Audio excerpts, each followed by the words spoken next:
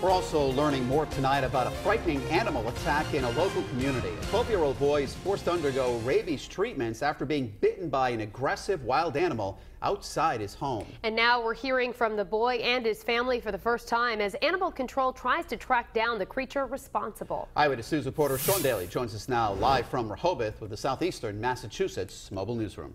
Talk about a scary situation that came out of nowhere. A dangerous fisher cat attacked a young boy here in his own backyard in Rehoboth.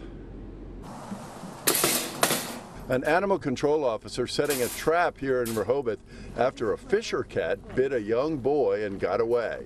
The police got the call shortly after 9 last night. 12 year old Wes Brown was in trouble. And I saw something that looked like my cat at first because it was really dark out. And then I saw the ears, and so I started to go inside, and then it attacked me on the leg. And then I tried to hit it off with my hand, but it got me in the hand. And then I shut the door on its head twice. And what were you thinking amid all of this?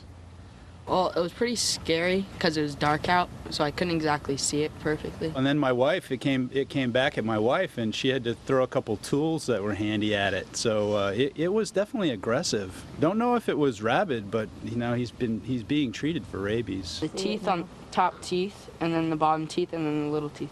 The fisher cat bit Wes Brown's left leg and a finger on his right hand.